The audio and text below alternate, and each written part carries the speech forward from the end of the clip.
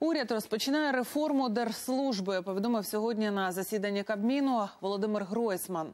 До осені всі міністерства мають залучити нових молодих фахівців обов'язково через публічні конкурси. Наголосив прем'єр.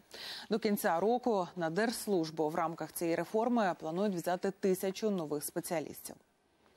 Ми хочемо отримати якісні професійні кадри. Сьогодні хочу підкреслити, що в уряді вже є такі кадри. І навіть подивіться на наші реформаторські структури або подивіться на офіс реформ при е, прем'єр-міністрі. Професійні, молоді, ефективні люди, які не просто там можуть говорити про якісь реформи і зміни, а які можуть реально робити конкретно справи. От таких людей ми маємо більше гуртувати, об'єднувати і заряджати на ті завдання, які сьогодні стоять перед нами.